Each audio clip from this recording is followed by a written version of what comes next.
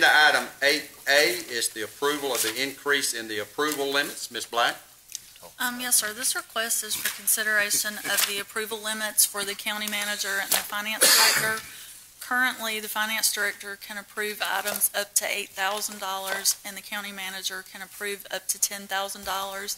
Anything above that goes before the Board of Commissioners. These have not been reviewed in a number of years, and so we are requesting to move those limits to twenty-five and twenty thousand respectively. Um, and these would these would be for items that are already budgeted. Any questions for Ms. Black? Thank you, Ms. Black. Okay, Commissioners, I'll entertain a motion.